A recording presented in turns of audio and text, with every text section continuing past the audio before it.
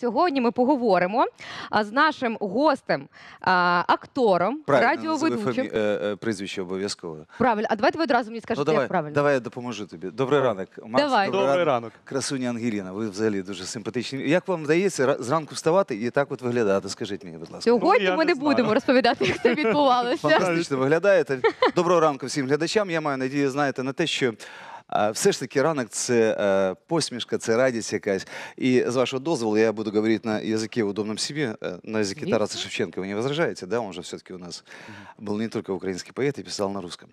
Ребят, доброе утро. Я всегда с Доброе. большим э, преклонением отношусь к людям, которые действительно вот такие бодрые, дарят свое солнце, радость. Вот вы, наверное, молодые совсем, вы не помните, когда-то в Советском Союзе э, у меня был такой совершенно маленький, ужасный такой вот э, радио, э, радио. Вот оно от розетки работало, если не помните, Так. радиорезетка была Мгм. такая на стенке висела. И мне всегда жутко нравилась история, когда в субботу утром где-то 70-е, 80-е года, я совсем юный был там еще, и мне всегда очень нравилась передача называлась «Радио няня». Вы не помните, конечно. Это, это, это вообще классика родийности. Так. Поскольку я 22 года работаю на радиостанции ведущим, для меня э, вот такие вот восприятия с детства, это всегда было что-то очень клевое. Оно заряжало настроением. И э, «Радио няня», «Радио няня», есть такая передача, не знаете, да? Ні-ні-ні. У нее одна задача, чтобы все девчонки и все мальчишки подружились с ней, чтобы все ребята, все троллята был, было веселей. Ну, кто-то, может быть, видит меня, кто-то вспомнит. А, поэтому я всегда с, б- с огромным удовольствием отношусь к э, утреннему шоу с большим уважением и удовольствием. Поэтому сегодня мы будем с вами дарить просто радость тем, кто нас будет сегодня смотреть. Меня зовут Сергей Комаровский. Я радиоведущий, ведущий мероприятий и, э, соответственно, актер. Клас, так мабуть, сложилось в Ось моей це жизни. Ми б так не найкращий підвели з тобою. початок інтерв'ю, який у нас коли ну от був за всі, всі ефіри, які ми Вы, ведемо. вы не поете по утрам здесь в эфире? Ми нет? ні. Маємо все. Але знаєш, от, ось так от прийти і от голос, який знають усі, Да, так на жаль. побудити усіх. І зарядити, до речі, позитивною енергією. Сергій, так, доброго Добрий ранку. ранок. З цього повинно починатись ранок. Ви знаєте, нема значення, актор ти чи шахтар ти. Да? Е, ти повинен йти на свою роботу з великою радістю. І твоя робота це. А, е, я- вибачте, е, это все-таки э, это все-таки часть твоей жизни, и эта часть должна быть радостная и светлая. Тем более, вы посмотрите, какие вы красивые молодые ведущие. Ребят, вы потрясающие Сьогодні красивые Не, не ведущие. наче ми Клас. прийшли з тобою кудись, знаєш, на якийсь Наче у нас ефір. новий Да, Сергій наче зараз ми прийде. е, А, у Так, у вас, гості. на вас огромная миссия. Вас смотрят прекрасные люди. Они сейчас заряжаются бодростью. Им скучно сидеть и слушать о том, как я буду рассказывать о своей жизни актерской, как я к этому... Да им плевать на меня абсолютно. Им хочется улыбку на лице. Вот, кстати говоря, знаете, что у меня поднимает улыбку по утрам? А, а- а в один из дней, когда был э, какой-то там Меркурий в каком-то там затмении, кстати говоря, да, я проснулся совершенно, совершенно ужасном Так. настроении. Ну, так бывает у, актерской, у актеров, у творческих людей, вы сами знаете, как это бывает. А, я иду на кухню, там, начинаю разбивать яйца, готовить себе какую-то яичницу. И я понимаю, что у меня настроение вообще ниже плинтуса опускается. А, Включаю телевизор, и у меня не работали э, международные телеканалы, и я включил украинское телевидение, украинское наше замечательное телевидение. И вы знаете, что мне подняло улыбку? Миша Поплавский, Ми- Михайло О, це Поплавский. велика класика Он- он же тут- українська. Ребят, и он пел там Кропыва. Я понял, насколько этот человек радостный для меня. Он вызывает у меня какую-то улыбку и радость. Я понимаю, что жизнь это замечательная штука, когда нужно утром вставать и улыбаться. Вы же утренние, да? Вы Ну, же- Ми, так, звісно, ж ми- постійно ми ранкові посміхаємось. У нас ж- пташечки. У нас же ж не може бути Потрясающе. посмішки. До речі, знаєш, як Да. е, про Михайла Поплавського кажуть? А, Про нього Михайло много чого. Михайлович, він вже не юний, але той ще орел. Кто еще урал? Да, да, Так. да, да, да. Е, Слухай, все-таки хочеться дізнатися, от е, коли починалася радіоняня. Це вже тоді в тебе закладалися перші думки з приводу того, що хочеш життя з радіо зв'язати. Макс, Чи як це треба? Макс, дорогой, я скажу тебе честно, на самом деле пути Господни действительно неисповедимы. От це Ребят. Вот, вот вы сами утром не знали, а, вы утром а, когда-то проснулись, и вы не думали, что вы будете работать на этом прекрасном телеканале, в этом прекрасном окружении таких вот людей, вот пот- потрясающих операторов, девочек. Посмотри, какие красавицы у вас работают. Вы этого не дуже знали. Но, видимо, вы знаете, я, я рассуждал на эту тему, и мне кажется, что когда мы появляемся на этой земле, я очень часто об этом говорю, наверное, мы с Господом Богом о чем-то договариваемся. В каком смысле? Так. Вот он говорит, так, там, Сергей Комаровский, ты там летишь 9 марта какого-то года, будешь там э, рожден на этой земле, чем ты хочешь заниматься? И я ему говорю, боженька, родной ты мой, э, я хочу заниматься, например, там, творчеством. Все, мы с тобой договорились. Ты занимаешься творчеством на этой земле. Но когда человек потом появляется на свет Божий, э, э, еще раз говорю, это мои такие Так. э, психосоматические рассуждения, и э, почему им возникают несчастливые люди? Вы знаете почему? Потому что они занимаются не своим делом. Если мы с ним договорились заниматься творчеством, мы должны заниматься творчеством, не бизнесом, не выпекать хлеб, а нужно заниматься творчеством. Но, к сожалению, это такая такая история, при которой, ну, знаете, это так сложно найти себя в этой жизни. И если вы утром когда-то проснулись и подумали, а а я буду там радищиком, я не думал, что так случится в моей жизни. Но какая-то кривая моей жизни история э, вывела меня на это все. Я не думал, что я стану ни радищиком, ни ведущим, не буду находиться сегодня 27 мая в вашей компании. Пути Господні неисповедимы. Просто так сложилось. Ну от у мене одразу є запитання. Завжди хочеться згадати, от що ти відчуваєш, що ти думаєш в той день, от коли у тебе був перший радіоефір. Ну, я згадую свій перший ефір, мені було страшно. Але А страшно от цікаво. Страшно цікаво тобі було, да? А, а, я, я помню свой первый эфир. Я даже не помню свой первый секс, но я помню свой первый эфир. Ребят, честно. Совершенно, да, внезапно. Я скажу, простите нас, смотри дети, главное, чтобы нас дети не смотрели. Я скажу вам честно, это был ужас. Тихий ужас. Меня бросало в пот, в жар. Меня бросало в холод, в пламя. И, и потом, как в песне из фильма а, «Собака на сене», его из пламенного горна бросает в леденящий холод, и в этой пытке многократно рождается клинок булатный. Вот, вот, вот я помню этот эфир, и после этого 22 года я добросовестно отдаю радиостанции Европа Плюс. Простите, если я что-то лишнее сказал. Ти От. слухай, ну тебе знають багато. По голосу тебе впізнає кожен. Ты Серйозно. понимаешь, какая история? Вот, вот минус радио в том, что нас не видно. Хотя технология сегодня работает замечательно. Можно повесить веб-камеру. Вы сейчас молодые. Посмотрите, посмотрите в камеру, пусть на вас посмотрят, какие вы красивые молодые ведущие. А Так, зранку давайте, дивимося в ребят, Камеры. вы, должны, вы должны нести светлое, доброе, вечное, потому что шоу-бизнес, он требует от вас хорошего настроения, даже если у вас его нет. За будь-яких умов. Да- давайте дарить людям, просто давайте дарить людям хорошее настроение. Вот сегодня у нас что? Четверг. Четвер. Чистый четверг будем называть. Маленька п'ятниця. Маленькая пятница. Ви- день Ривний казав. день. Самое сьогодні. главное, слава, э, вот, слава Богу о том, я, я так говорю часто, слава Богу, но я не набожный человек. Я богобоязненный, но э, не практикующий там хождение э, в различные конфессии.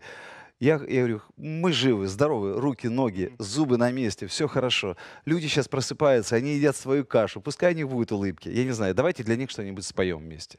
Так, О, цікаво, що ми можемо Дивись, а, просто заспівати? нюанс у тому, що я не співаю. На жаль. Ти, ти на поки жаль, що. от ти, до речі, себе недооцінюєш. Я хочу сказати, з таким тембром голосу ти співаєш. Скажи, Настя, Так, так, ти співаєш. Серйозно, у вас в є мене улюблені пісні І якісь? пра- практики навіть ніколи не було. Ну, Давайте заспіваємо. А чому ні? Давайте для людей, які нас дивляться, я не знаю. Якось Ми не будемо народно, співати гімн Щоб України, ми це буде. знали. е, е, ну це вже буде мувітон. Давай так. Ну, давайте співаємо. Незабудка, твой любимый цветок, воздушный поцелуй, самый... Ну, что-нибудь такое. Ти можеш таки підтанцьовувати тут, Да. знаєте, і Ну, все. если вы позвали актера в свою студию, давайте будем актерствовать. Ну, давай, В конце давай, Давайте, концов. без серйозно, питань, що ми конечно. робимо? Ну, давайте, спрашивайте, что нужно? Так, у мене взагалі запитання. Давай. Ми говорили про гарний настрій і що інколи от е, зранку його ну не буває. Як ти от починаєш себе заряджати, щоб от ранок у тебе був 100% добрим? Точно не наркотиками, боже упаси. Ребят, никакие транквилизаторы, никакие алкоголи в жизни э, не нужны. Они могут быть в- доступны, имеется в виду немного алкоголя. Может быть, опять же говорю, простите меня, а, м, те, кто нас смотрит, я все-таки за здоровье какое-то. Э, Наверное, это... Наверное, это позиция. Вы знаете, э, когда человек приходит к определенному э, жизненному уже там какому-то э, черте какой-то жизненной, ну, условно говоря, после 40, э, ты уже вычленяешь для себя все самое важное, все самое интересное, и э, весь шлак оставляешь позади себя, стараешься как минимум. Поэтому ты окружаешь себя уже той обстановкой, при которой ты понимаешь, что тебе хочется вставать, улыбаться и радоваться. Сегодня у меня за окном пели соловьи. Клянусь вам, пели Класс. соловьи. Ребят, в Киеве есть соловьи. В моем любимом родном городе. Я родился тут недалеко, на, на улице Щерса. Часто называется Коновальцы. Не знаю, кто такой, но, наверное, хороший человек. И первый раз я понял, что в Киеве поют соловьи. Это так здорово. Мне поднимает это настроение. А что вам поднимает нас- настроение утром? Я сама собі можу підняти настрій. Я Яким вмикаю чином? музику і Так. потім починаю трішки пританцьовувати. Уявляю себе якоюсь героїною свого суперського життєвого кліпу, і все, і мені добре. А Макс? У мене такий же сценарій, тільки у мене ще ранок починається з того, щоб нагодувати кішку. Ти теж кошатник, у мене теж Давай, є кішка, п'ять. браво, молодець. Поїхали. Я не з клас. нашої компанії. Е, Ні, нормально, нормально. Я тебе розумію. Мій, мій кіт мене е, зранку приходить до мене, е, лягає, в- вибачте, в, до мене, і я повинен йому гладити живіт. О, Ось так. це Да. велика Я засипаю, е, за- засинаю разом з ним ще півгодини, де сплю, а потім прокидаюся і пам'ятаю, що мені треба йти на телеефір, правда, тут. Пс, Підпригую, підскакую і біжу до вас. Да. І навіть не знаю, чи помився, чи не встиг. Це не має значення.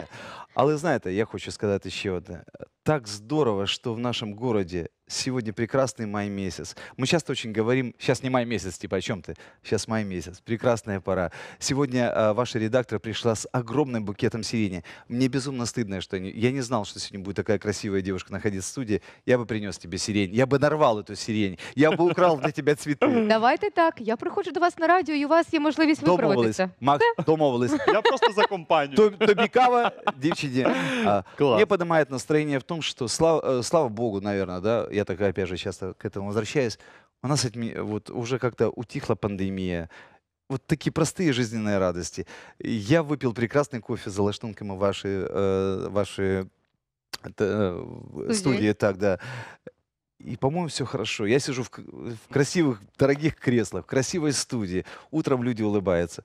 Вот с этого и начинается актерство, ребят. Вот, собственно говоря, мы все с вами актеры по чуть-чуть. Настя, вот скажите, пожалуйста, вам какие актеры нравятся? Какие качества актера вам нравятся? Мені ну, коли, по-перше, він не грає, от такий от справжній, коли він змушує мене про щось задуматися, коли от його гра, наприклад, я просто е, навчаюся, навчалася і сподіваюся, що буду ще вчитися. В творчому вузі, в акторському. І дуже класно, коли там є актори, які, знаєте, от вони не намагаються сподобатися, а от вони дійсно роблять це від щирого серця. Це круто. Це приходить тільки з віком. Я, я хочу сказати, що раніше ми всі були в масках, одягали їх. І в масках, до речі, Майя. Да? Це мені подруга е, привезли з Мексики. Я хочу сказати, що очень важно быть настоящим. Очень важно быть искренним. Потому что люди, вот, э, которые смотрят нас в экране, они моментально щелкают искренность. Они моментально чувствуют это. Когда вот человек без опыта жизни, он пытается что-то из себя показывать, там, не бог весь что, это, это смешно выглядит. Искренность всегда была в цене, доброта всегда была в цене. А, добро, а, любовь — это то, что всегда будет неизменно ценными. И это самое важное качество актера — быть настоящим. Макс, ну с- согласись с этим. Абсолютно погоджуюсь. А от що для вас важливо в акторстві? Ну, от чому ви обрали акторську професію? Що вас підкупило? Я еще раз говорю, я не знаю, как-то в жизни так сложилось, что э, начинал там с клипов где-то, там снимался у Океана Эльзы, там у, у- у- Мгм. у какого-то там Макса Коржа, не знаю, кто такой. Ну, полтора ты. миллиона, да, да, да. А ка- какие-то были ролики, какие-то... Ну, как-то сложилась так моя творческая судьба, наверное, потому что детство у меня было совсем нелегкое, его совсем не было, можно сказать. И я там уже начал как-то лукавить, играть, и мне очень стыдно. А сегодня в моей жизни вот, вот как-то так сложилось здорово. Ребят, ну, не мы выбираем, нас профессия выбирает, Ну, по скорее факту всего. так. Так, там в жи- в житті складається. Класно. У мене ще є запитання. От Валя. дуже багато акторів. Ну, пробачте, у мене завжди багато запитань. Ні, я Наприклад, можна, да? Та, звісно. Наприклад, багато акторів приходять в кіно е, після якихось курсів ну, без профільної освіти. А є актори, які саме навчаються. От мені цікаво, як у вас у професіонала запитати, що ви думаєте з цього приводу? У людини має бути професійна освіта актора, чи він може в принципі просто виїхати на таланті? Ребят, если вы не Ваня Ургант Мгм. и не Дмитрий Нагиев, то нужно пахать, Мгм. Пахать и пахать. Актер — это каждодневная монотонная работа. И, э, понимаете, к сожалению, мы живем в такое время, когда у актера, вот я говорю сейчас о себе, не всегда есть работа в кино, но всегда есть возможность актерствовать. Каким образом? Я выхожу на сцену, я веду вечера, я веду э, мероприятия, корпоративы, свадьбы иногда, ну что, так зарабатываю на жизнь. Я а, работаю на радио, поэтому у меня есть постоянное э, слово вылетело. Видите, утро, оно, оно Постійна такое. То есть практика. пости- постоянная практика, которая, ну, это же сродни актерству, в этом нет ничего плохого. А, Постоянно нужно самосовершенствоваться. Чита- Вы читали книги? Когда вы Да. последний раз читали книги? Я Настоящие, намагаюся кожного дня тактильные. по півгодинки хоча б е, набирати Гениально, читати. Макс. Э, э, Настя, ну ты, Каждого ты дня сейчас в не любви. выходит. Не, нет, у тебя Ну только любовь в не. голове, музыка. Та ні, ми з Я в нею роботі, то після- навчаюсь. після ефірів Ребят, читаємо. надо читать книги, надо развиваться, надо читать стихи. Вы читали Бродского? От я винен, я не читав. І я не ну от читала. поезія Правда? це не моє. Предпоследний этаж. Раньше чувствую тьму, чем воскресный пейзаж я тебя обниму и укутаю в плащ, потому что в, в окне дождь заведомый плач по тебе и по мне. Нам пора уходить, рассекает стекло серебристая нить. Навсегда есть стекло. Ладно, наше Друзі, у время вас с тобой. зараз була можливість побути на творчому Читайте е, стихи. так, е, віршованому вечорі. Читай, надо читать стихи, надо, да. Если вы хотите быть актером, э, нужно понимать, актер это нелегкая история, в нашей стране особенно, к счастью к сожалению, не знаю. Но не всегда есть работа, но всегда есть возможность самосоверш- самосовершенствования. Видите, вот как минимум нужно развивать артикуляцию с утра. Так, О, обязательно. бачите, ви зараз про тр- артикуляцію почали говорити. Я а то тебе знову потом пыль перебула, по да? полю летит. Во дворе трава, на траве дрова. Да, Ага, тобто обязательно. ви зранку обов'язково робите? Обязательно. Это уже 20 с лишним лет. Я каждое утро разминаю свою артикуляцию. Ну, как минимум, я сегодня это делал, потому что я готовился, готовился к эфиру. к вам. Тобто ранок не з кави, а ранок з дикції. Ну, к- Кава это, м, это нормально. Э, Это как бы э, совершенно не главное. Главное это размяться, зарядить себя позитивом, посмотреть на небо и сказать спасибо тебе большое, что сегодня жив, здоров, ноги, руки целы. И правда тут меня ждет. Е, Сереж, хочеться, знаєш, от дізнатися, м, яку роль в твоєму житті займає самоіронія? Самоирония. Слушайте, ребят, это, это настолько важно. Это настолько важно быть. Я говорю, честность — это умение, в том числе и самоирония. Потому что меня зачастую очень пугают люди, которые очень серьезные. Мгм. Вот, э, по-моему, существует какое-то выражение а, «бойся тех, кто очень серьезен» или там как раз «дураки с серьезным лицом». Ребят, надо, это, это очень хорошо. Надо уметь пошутить над собой. Надо, надо. Это здорово, это правильно. И потом э, бяки и буки не всегда нравятся людям. А если человек может над собой пошутить, значит, в общем-то, он может пошутить над другим, но не больно. Мгм. Ну, треба все, все одно зберігати якісь межі, правильно, щоб не образити людину. Э, Конечно, мы не имеем права вторгаться э, в пространство, еще и обижать этого человека, тем более, ну, знаете, а может быть, он ранимый. Вот Настя смотрит на меня, Сережа, ты только не скажи ничего глупого в мой адрес, потому что я очень ранимая. Она же девочка, как ему? Посмотри, какая она красивая, как Та можно вона ей говорить? неймовірно, так. Да. Так, Нам- хлопці, на- нам, сьогодні 8 мужчинам- березня, чи я щось Я, я напутала? говорил, что тебе нужно сидеть посередине. Мужчины должны тебя вот, Так. э, опекать по бокам. А, ребят, самая ирония это здорово. А, мозги это всегда в цене. Мозги то, что всегда ценится и всегда очень важно. Нужно учить много текста для того, чтобы, в принципе, вернуться к актерской теме. Ребят, надо много работать с текстами, надо много запоминать. Очень тяжело. До речі, ще а, 3-4 роки тому я взагалі не спілкувався державною мовою. Я ще раз кажу, я народився в місті Києві на вулиці Щорця біля Палацу Україна. І я, ну, ми ніколи не розмовляли державною мовою при всій повазі до моєї рідної мови. Е, я все ж таки м, розмовляв більш е, не русским язиком, а не російським язиком, а русским язиком, великим русским. І я тут ничего лишнего не говорю, у нас политика вне политики. А, Я зачастую встречаю людей, которые, в принципе, э, очень много говорят о том, что нужно говорить вот так, так, так, а сами, в принципе, разговаривать не умеют, к сожалению, от того, что они не образованы.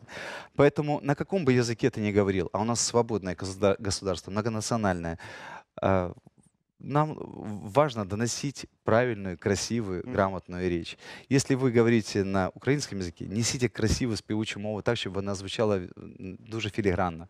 Если вы говорите на русском языке, не надо этого бояться, говорите красиво. Самообразование, самоучение и любовь к своей стране – вот это то, что определяет сегодня настоящую нацию. Любовь к своей стране, неважно, на якому язикі ти розмовляєш. Це факт. Хочеться продовжити тему з приводу того, якщо ти поправ мене, якщо я, я помиляюсь, Будь ласка. тебе оточують неймовірні люди. І от мен- мене цікавить те, які якості ти цінуєш у людях найбільше. Ну, окрім самоіронії, це ми поговорили. Макс, дорогой, знаешь, и я как раз сегодня думал об этом утром. И Я очень надеялся на то, что ты мне задашь этот вопрос, и огромное спасибо, что Це ты знов мне его таки задал. самоіронія? Чи... Нет, нет, вы- э, это- это- вчера у меня брали интервью, я сейчас снимаюсь в одном очень большом сериале, и у меня брали интервью и спросили э, практически э, так же, какие качества я ценю в человеке. Ребят, сегодня я могу совершенно честно вам сказать, я ценю искренность. Для меня искренность — это сродни э, правды, доброты и любви. Я очень люблю искренних людей. Она, конечно, достигается, окружение искренних людей достигается неимоверно сложным путем. Путем отсеивания э, ну, и отшлифовывания каких-то вещей в своей жизни, и людей в том числе. Но те, кто со мной искренне, я не могу быть с ними негодяем. И я ценю это безумно. ценю. Я вижу ваши глаза. Я в пять секунд просто вижу людей, которые действительно не искренне, да, ну то есть пытаются быть лучше или хуже, или пытаются тебя обманывать. Простите, так в жизни бывает, мы все живые люди. И когда человек искренний, я не могу быть по отношению к нему последней какашкой. Вот не могу и все. Тобто ти Для меня это цінуєш ценно, внутрішній да. світ. Искренность, искренность, доброта, э, честность. Вот это вот все понятия в одном, в искренности. Это очень здорово. Я вот окружаю себя, надеюсь, что в моем окружении честные, искренние, добрые люди. Я очень верю в это. Ну, правда, я же верю, я смотрю на вас и Ну, верю та вам. ми, ми, ж, ми ж теж на тебе дивимося в захваті. А, Ти ти- заряджаєш просто. От Ми не А я можемо объясню. втримати Вы посмішки. понимаете, какая история? Э, В 20 лет, когда тебе 20 лет, ты голоден, ты хочешь себе э, купить какой-то там э, новый телефон, красивую там машину, ты, ты все время чего-то хочешь, хочешь квартиры, машины, какая-то вот история накопления. когда тебе уже чуть постарше 20, когда ты уже чего-то достиг в своей жизни, ты уже пытаешься найти что-то духовное, и это здорово. Я, я очень благодарен, что это ко мне пришло, пусть я считаю, немного запоздалым таким образом, да, вот понимание настоящих, фундаментальных каких-то ценностей в жизни. Но вот они пришли. Для меня э, сейчас материальное не важно. Слава богу, все хорошо, я работаю, я много работаю, и я могу обеспечить себя, свою семью, это все нормально, так должно быть, да. Конечно, мне бы хотелось вот в вашем возрасте иметь уже, вот когда мне было 20, я очень хотел иметь дорогой автомобиль, хорошую, большую, престижную квартиру где-нибудь на Печерске, рядом с Верховной Радой. Но всему свое время. И главное, вот в этот период не стать жестким, не испортиться. И потом вот, когда ты уже э, стал таким вот э, фундаментальным, в хорошем смысле слова, Так. ты, понятно, уже дело э, зара- э, работаешь над тем, чтобы вокруг тебя были люди, которые поддерживают вот этот фундамент и соответствуют твоему уже образу жизни. Это очень важно. Так, ти анонсував, що зараз знімаєшся у великому серіалі. А ти почув? Уважний, уважний ведучий. Браво. Ну, слухай, я стараюся. Знаєш, велика класика українська. Да, у мене зараз великий серіал, до речі, нашої мови державної. Ми знімаємо. Я не можу казати, як він називається, але телеканал мене попросив про це е, не казати. Але це дуже такий цікавий серіал. Зараз йде важливе е, таке, знаєте, формування е, точки зору відносно наших органів, ну, міліції і так далі. І зараз я знімаю е, експерт, криміналіст е, в одному цікавому, м, на мій, на мій погляд, серіалі, де граю ось такого собі майора Антонова. Просто цікавить твоє внутрішнє становище, коли ти граєш, наприклад, а, ну, експерта-криміналіста. Відчуваєш, що це твоя роль? Ты знаешь, э, зачастую роли не выбирает. Слава богу, что есть работа. Э, Поэтому здесь, э, в- если ты профессионал, ты можешь играть Путь. криминалиста, ты можешь играть бандита, как я снимался в немецком фильме у Гарольда Франклина на английском языке, оказывается, знаю английский язык. А, Я играл убийцу, да, я считаю, одна из лучших харизматичных моих ролей. э, Мне очень понравилось. А, И ты просто вживаешься в роль, ты ее принимаешь, ты ее впитываешь, оставляешь это как базу в памяти и, и двигаешься дальше. Да, сегодня я эксперт-криминалист. Почему бы и нет? Слушайте, ну это классно, это здорово. Интеллектуал, не глупый вроде бы человек в этом э, фильме. Да, собственно, совсем не глупый. И мне очень нравится. Я надеюсь, что следующий... Я вообще очень хочу сыграть, ребят, знаете кого, если говорить о кино, то, наверное, я бы, наверное, смог уже сегодня сыграть э, священника, мне очень хочется сыграть. Ух Причем ты. католического Неочікувано. священника. Да. Саме католика. Ну, ну, мне нравится вот эта ряса, вот эта вот история. Наверное, я смог бы его сыграть и что-то какого-то соблазняемого какими-то там вот историями житейскими, там, э, какими-то женщинами, какими-то э, ситуациями соблазняя, и, знаешь, не поддающегося борьба между добром и злом, наверное, я бы уже смог сыграть, и мне бы этого хотелось сделать. Либо какую-то жестко отрицательную роль. Знаете, вот что-то отрицательное всегда запоминается лучше. А вот эти вот э, прилизанные, красивенькие, вот это все уже не Це детское. мож, сад. мож- можна сказати, що це вже попса. Ну їх багато таких. Ну, наверное, красивых мужчин, как и девушек, очень много. Вот, а мне хочется сыграть небритого, потного, грязного, но уверенного, такого стабильного и понимаемого многими. Ну, Я це уже дуже смог. цікаво, те, що ви розповідаєте про такі ролі, і до них же потрібно підготуватися. Мені цікаво, наприклад, якщо той самий експерт-криміналіст, ви ж маєте знати термінологію, типу, в принципі, ви маєте орієнтуватися, як він себе поводить. Як відбувається підготовка до ролі? Ти така розумна, дивись, ти яке питанечко мені дала. Да, абсолютно верно. Совершенно верно. Для того, чтобы честно прожить роль, как минимум нужно понимать, что ты делаешь.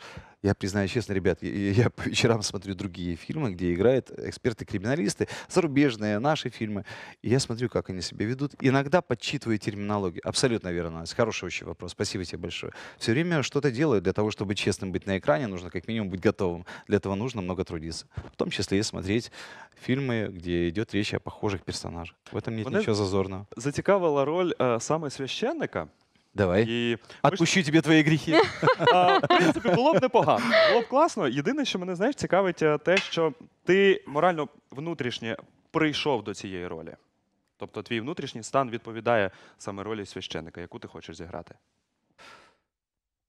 Вот, э, если я правильно понимаю тебя, вот внутреннем, внутреннее состояние, да, я, я бы донес честно эту э, роль. Еще раз говорю, мне бы очень хотелось какого-то правильного режиссера, который бы нашел, что мне дать, э, как мне правильно это все преподнести. Но я полагаю, что в этой роли я бы смог, наверное, что-то рассказать. Я уже готов к этому. В этой роли, в роли священника. Потому что я уже, как мне кажется, нет, я еще глупое дитя, неразумное абсолютно, даже не, невзирая на возраст. Мы все равно в душе дети. Но тем не менее, я бы смог показать, что есть добро, что есть зло. От мене якраз от ось це твоє внутрішнє ставлення до цього і цікавить. Ам, коли актор грає роль, ну якщо вірити Станіславському, так він щось розказує, щось доносить і чомусь вчить. І от мені цікаво, що б ти саме сказав глядачу. Макс, я не знаю. Я не знаю, как ответить на этот вопрос. Я не знаю. Понимаешь, актер это лицедей, потому что в жизни я совершенно другой человек. И здесь вот я с вами настоящий. Я бы честно просто сыграл роль. Я бы ничего не говорил с экрана. Я бы просто хотел, чтобы э, меня увидели продюсеры и вложили в меня потом деньги. И дальше предлагали роли. Это просто работа. А вот какие мы в жизни с вами люди и какие актеры, вот это важнее. Для меня это важнее. От давай тоді повернемося до початку нашого інтерв'ю. Ми говорили про те, що у кожного нас є у кожного з нас є своя місія. Тобто про щось ми з е, ним Договариваемся, да. А, яка твоя місія? Розкажи. Сейчас честно сказать тебе. Так. Ну давай Ладно, У нас чесно. правда тут тільки. Тільки правда тут. Но оскільки тут правда, то скажу честно. Наверное, моя миссия сегодня не делать плохо тем, кто рядом. Вот и все. Я не Вау. буду глобализировать абсолютно. Я э, только за то, чтобы те, кто рядом, кто меня искренне любит, не плакали от меня. Вот и все. Вот это моя миссия. И не делать плохо людям, которые меня окружают. Любым людям. Не делать плохо. У- Я уже могу это себе позволить. Я могу позволить себе не делать плохо другим людям. Благодарю себя.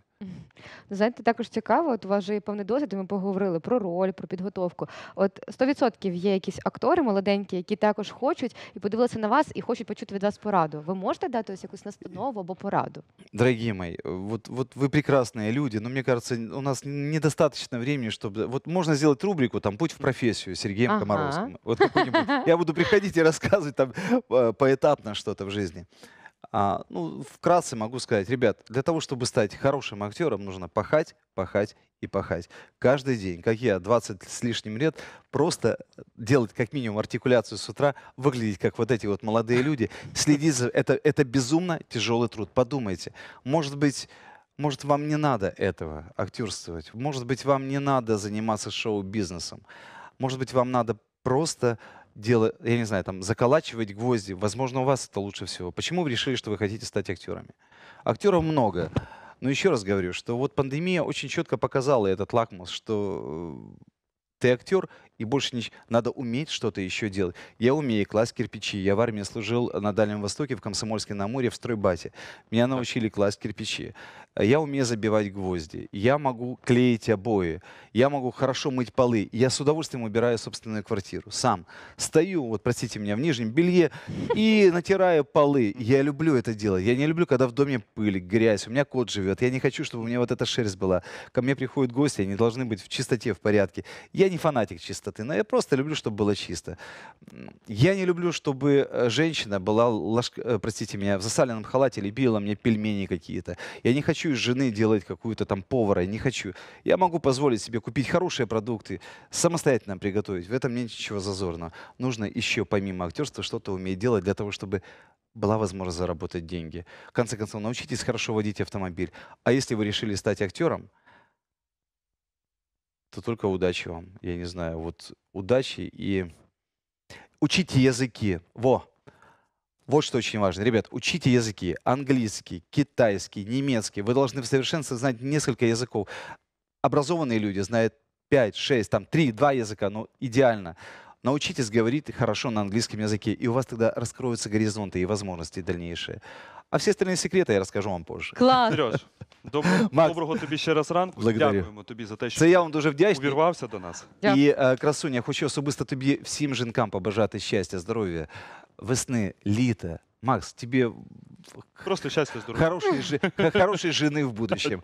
Настя, пусть в твоей жизни все сложится хорошо. И самое главное, дорогие зрители, если нас сейчас видно в прямом эфире, меня хорошо, меня хорошо слышно, я всем вам желаю здравия. Пусть в ваших семьях будут все здоровы. Пусть ваши семьи будут богаты. Пускай скорее на нашей земле закончится война.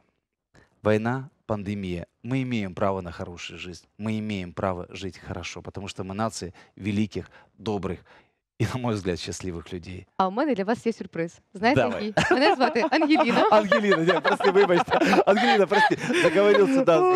Це добре. Стыдно, да. Макс, Ангелина, благодарю вас. Дякуємо вам. Та можна і Настя, можеш мені Настя казати. Настя, Настя. Настя!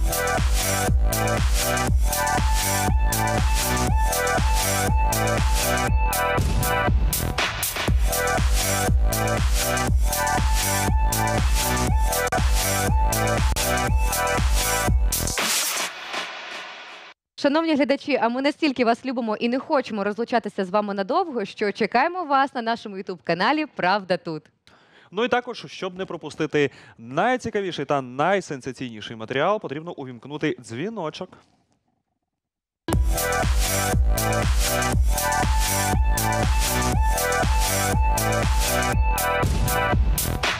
We'll